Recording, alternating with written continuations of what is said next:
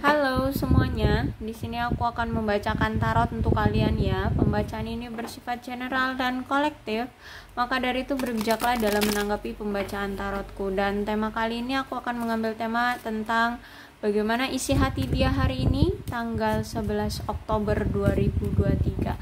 Dianya siapa boleh kalian fokuskan orangnya dan sebutkan namanya di dalam hati. Aku akan mencoba menarik energi dari si dia, oke? Okay? I love you before you leave me uh, you could leave me kata dia. Dia yang ninggalin kamu duluan.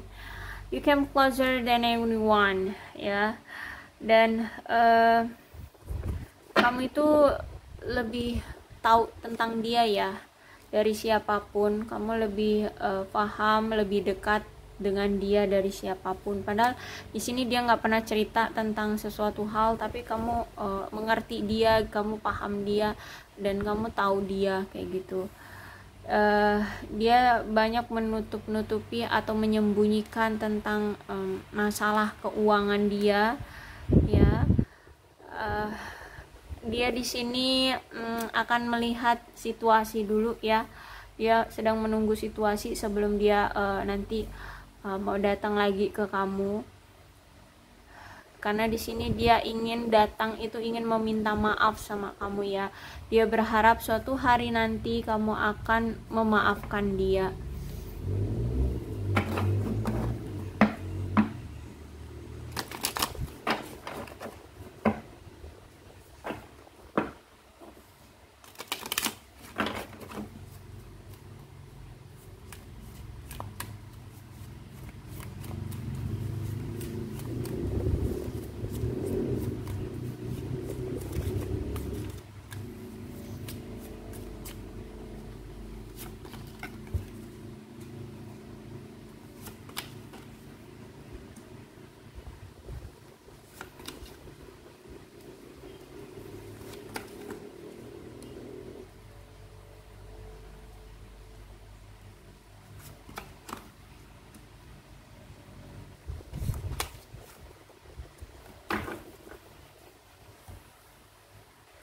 Oke, okay, aku lihat orang ini orang yang ramah, orang yang sabar ya. Bahkan di sini dia juga sabar menanti dan menunggu kamu uh, untuk siap um, me me me memberikan dia maaf ya, untuk siap untuk ber membuka hati lagi ke kamu. Karena di sini dia benar-benar pengen uh, memberikan cinta dia lagi ke kamu. Ini akan ada potensi ya, kalian akan dipersatukan kembali. Asalkan ya kalian mau sama-sama uh, berjuang kalian mau sama-sama uh, mempertahankan hubungan ini. Bahkan di sini aku lihat uh, orang ini memang udah udah seimbang ya di dalam kehidupan dia uh, dan aku lihat juga di sini uh, dia akan memberikan hubungan yang sekarang itu lebih banyak kasih sayangnya lebih banyak perhatiannya ya. Karena dulu uh, aku lihat mungkin dia nggak nggak nggak nggak pernah memberikan kamu perhatian ya. Dan sekarang ketika nanti dia datang lagi dia akan memperjuangkan kamu tanpa lelah ya tanpa rasa lelah. Entah apa pun itu ya akan dia perjuangkan. Walaupun di situ nanti dia menemukan banyak hambatan aku lihat di sini dia akan memperjuangkan kamu.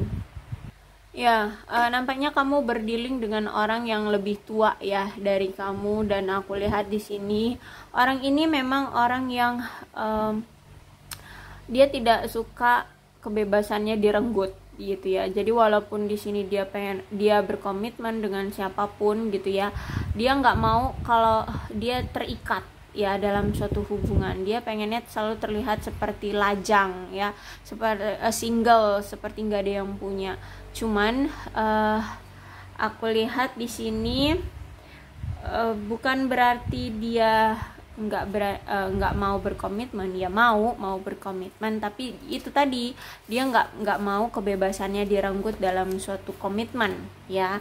Jadi dia nggak mau terlihat dia terikat dalam suatu komitmen dia maunya uh, bebas merasa bebas gitu ya. The, jadi um, memang orang ini juga kemarin itu uh, sering berbohong sama kamu ya. Sering berbohong nggak jujur uh, dia melakukan banyak kelicikan trik ya trik atau skenario uh, dan aku lihat juga mungkin ya nipu kamu.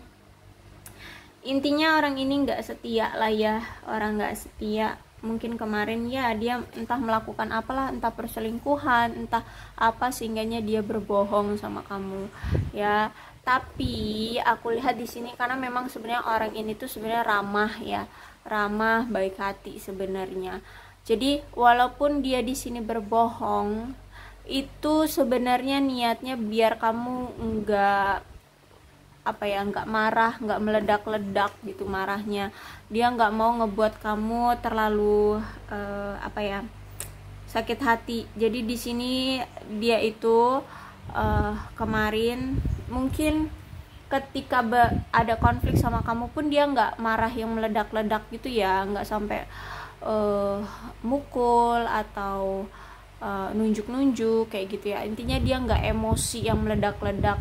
Nah, um, karena orang ini memang um, bisa bisa udah bisa menahan emosi. Bahkan kemarin saat kalian menjalin hubung apa saat uh, bertengkar dengan kalian dia itu sebenarnya menahan emosi untuk tidak kasar sama kamu ya, untuk tidak kasar sama kamu.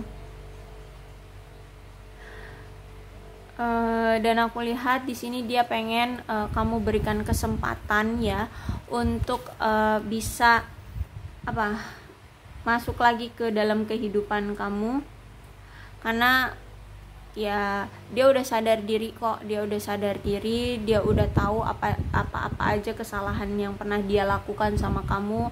Dan aku lihat di sini uh, ya dia tahu manusia itu nggak ada yang sempurna ya termasuk dia di sini. Jadi dia berharap uh, kamu mau memberikan dia kesempatan uh, kesempatan lagi ya. Karena aku nggak berani ngomong ini kesempatan yang kedua kali karena I think ini nggak cuma sekali dua kali dia lakukan. Ya jadi makanya aku bilang kesempatan lagi. Dia pengen uh, minta kesempatan lagi untuk uh, menjalin hubungan sama kamu. Tuh kan ya temperance-nya reverse nih. Jadi dulu dia pernah uh, lebih memprioritaskan orang lain ya dibanding kamu. Di sini kamu sering diabaikan bahkan aku lihat di sini mungkin kamu tidak diberikan perhatian sama dia. Uh, kamu sering dicuekin sama dia kamu tidak dihormati sama dia. Akhirnya kalian uh, ber selisih ya di sini kalian bertengkar. Nah, tapi kemarin saat kalian bertengkar tuh dia tidak mencak-mencak ya, karena uh, aku lihat di sini dia juga sadar kan dia yang salah, terus itu juga mungkin dia juga udah capek ya dalam hubungan ini. Uh, dia mungkin selalu merasa terpojok ya. Uh, jadi aku lihat di sini hmm, ya udah dengan dengan apa ya dengan wajah datar ya tanpa emosi yang meledak-ledak dia lebih memilih untuk pergi dari kamu kayak gitu.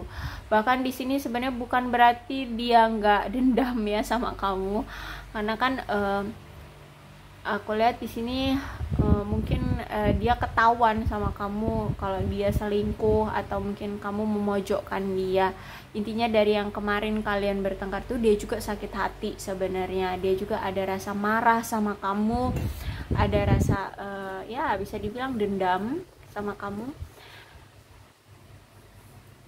Ya dan uh, the high priestess ya sebenarnya uh, ini bisa vice versa ya atau mungkin kedua kalian berdua sama-sama merasakan ini gitu. Jadi di hubungan ini sebenarnya secara insting ya kalian itu kuat ya entah ini kamu ataupun ini dia atau mungkin kalian berdua sama-sama instingnya kuat. Dan uh, jadi kalau misalkan kalian merasa curiga dengan pasangan kalian oh ada yang aneh nih. Nah itu ternyata beneran terjadi. Jadi itu memang dibilang uh, insting yang kuat ya. Memang kalau the high priestess reverse ini keluar memang uh, hubungan kalian itu bukan hanya sekadar uh, ya pacaran atau pernikahan doang tapi memang secara insting pun itu ikut bermain di sini. Nah kemudian aku lihat di sini memang kesulitan uh, di dalam hubungan kalian itu ya berkomunikasi ya. Komunikasi kalian kurang deep kurang uh, intens intinya komunikasi kalian uh, apa ya rusak uh, bukan rusak lebih ke buruk ya buruk komunikasi kalian. Nah uh, jadi aku lihat di sini hmm, kalian merasa kesal ya. Entah ini dia ataupun kamu ngerasa kesal karena banyak sekali kesalahpahaman tapi nggak dituntaskan. Karena ya itu tadi kalian punya komunikasi yang buruk gitu ya.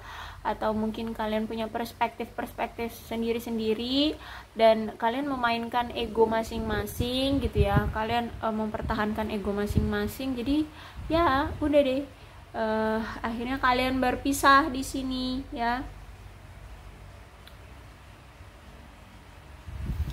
Nah uh, sebenarnya dia ini tahu ya uh, kamu itu selalu pengen mendapatkan perhatian dari dia. Dia tahu itu karena di sini kamu pun menunjukkannya bahwa kamu itu pengen diperhatiin juga sama dia. Tapi uh, apa ya hmm, entah ini ya entah ini dia yang pengen ngedapetin perhatian dari kamu ataupun kamu mungkin yang minta perhatian dia. Nah di salah satu di antara kalian ini yang dimintai perhatian dari pasangan kalian akhirnya curiga atas motif apa nih? Kenapa cari-cari perhatian seperti ini gitu ya? Pasti ada motif tersembunyi di sini. Nah inilah yang membuat uh, hubungan kalian jadi rusak jadi renggang ya karena banyak sekali kecurigaan-kecurigaan ya dan tidak saling percaya dengan pasangan.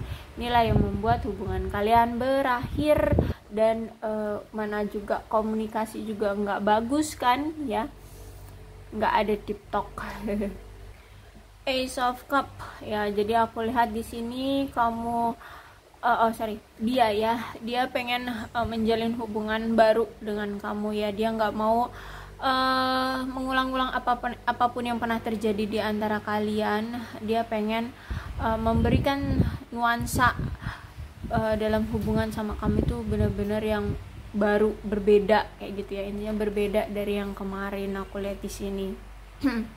Oke, okay, orang ini sampai detik ini kalau dia belum datang memang uh, dia sedang menunda, menunda itu. Kenapa? Dia menunda untuk berkomunikasi sama kamu karena dia malu sama kamu atas tindakan dia yang pernah dia lakukan sama kamu kemarin-kemarin itu ya. Jadi ada suatu masalah yang begitu rumit ya begitu besar di antara kalian di antara ini tentang perselingkuhan inilah uh, kemudian kesalahpahaman inilah kemudian komunikasi yang uh, kurang intens yang dia bangun gitu ya. Jadi di sini ada judgment ada suatu masalah yang uh, ingin dia utarakan ingin dia selesaikan sama kamu masalah di antara kalian.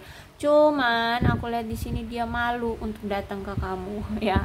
Karena ada satu tindakan dari dia yang benar-benar uh, membuatmu pasti patah hati kayak gitu. Pasti uh, kesal banget pasti menangis kayak gitu. Nah di sini uh, aku lihat juga um, ada energi pihak ketiga ya atau desas-desus yang menjelek-jelekkan kamu atau uh, ya intinya orang ketiga inilah yang memberikan uh, apa ya pengaruh ya memberikan pengaruh ke otak si dia ini bahwa kamu itu buruk gitu di mata eh, orang-orang kayak gitu ya. Intinya dia ngejelek-jelekin kamu di sini. Nah uh, di sini dia malah percaya kan dengan pihak ketiganya bukannya percaya sama kamu malah percaya dengan pihak ketiganya. Makanya di sini dia masih menunda untuk datang ke kamu karena dia masih malu. Jadi kalau misalkan dia udah datang ke kamu berarti dia sudah melewati fase ini fase malunya sama kamu ya. Jadi kalau dia belum datang ya ini judgementnya reverse ya. Karena dia malu sama kamu pernah melakukan suatu kesalahan yang membuatmu sakit hati dan patah hati banget padahal di sini yang dia inginkan itu cuman kamu gitu ya Oke, okay, aku rasa cukup untuk pembacaan kali ini. Untuk zodiaknya di sini ada Capricorn, Taurus dan Virgo, Leo, Aries, Sagittarius, Cancer, Scorpio dan Pisces. Energi paling kuat di sini ada Sagittarius. Oke, okay, tidak menutup kemungkinan kedua belas zodiak bisa resonate dalam pembacaan aku ini asalkan ceritanya sama dengan keadaan kalian. Maka dari itu berbijaklah dalam menanggapi pembacaan tarotku ya. Salam sehat untuk kalian semua dan bye bye.